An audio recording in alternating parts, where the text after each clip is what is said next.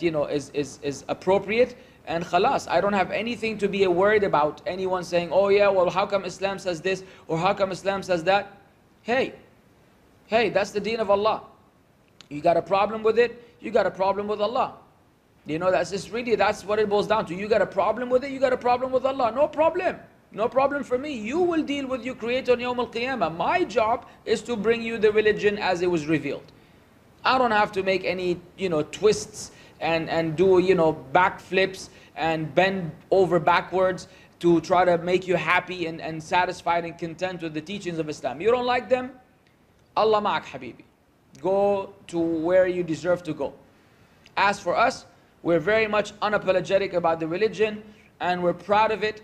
And no one else, no one else has the right to say that even though they do.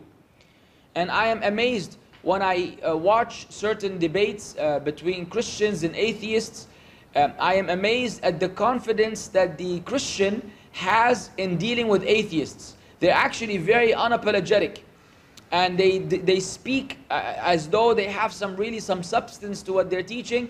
And even though they're void of real substance, they are very much in your face.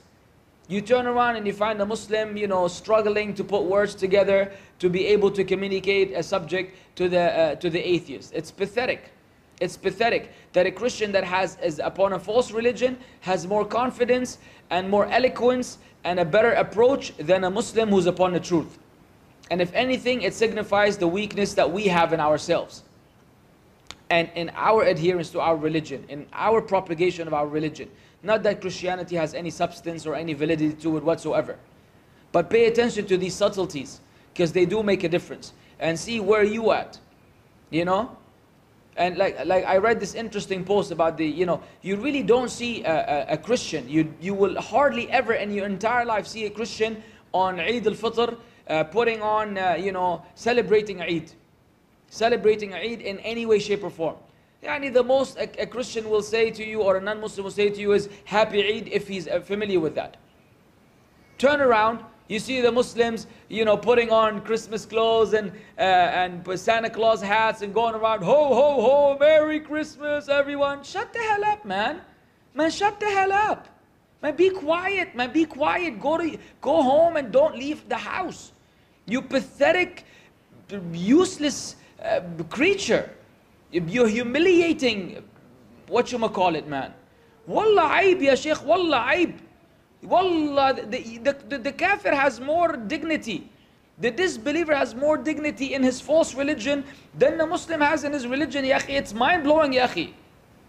You don't see none of them going out of their way to make you to make you happy. Why are you going out of your way to make them happy so you could feel that you belong and that you're part of? No, to hell with them. You don't have to feel like you belong. Belong where? with a group of people that believe that God be, has begotten a son? Or they celebrate any festivity for whatever reason, or even you want to join them on New Year's for whoever join them on New Year's and so on and so forth. And that's what you guys need to calculate into your mind. It's, it's weird. It's so weird that they don't go out of their way, and even if they did, it's because they don't have any really religious teachings to uphold. Whereas you have strict, explicit teachings that warn you against behaving this way, then the Muslims go out of their way to disobey Allah Azza wa Jal to please the disbelievers. And what is the end result? They will be displeased with you as well. Look, I'm, I love football. I love football. I play football. I watch football. I was a Liverpool fan because of Muhammad Salah. The day I saw Muhammad Salah wearing this retarded, uh, uh, sorry, somebody told me not to use the word retarded, wearing this ridiculous outfit with a Christmas tree, with his wife and kids. Wallahi, every time I see Liverpool, I hope, him, I hope that they lose every single game from, I hope his whole career comes to an end.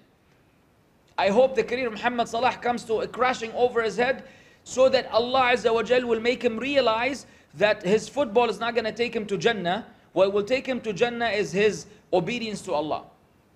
I don't care if his football career comes to an end, if he will repent to Allah because of this. I want him to stop scoring goals. I'm hoping he will stop because maybe he will connect. He say, aha, aha. Maybe Allah's punishing me for whatever.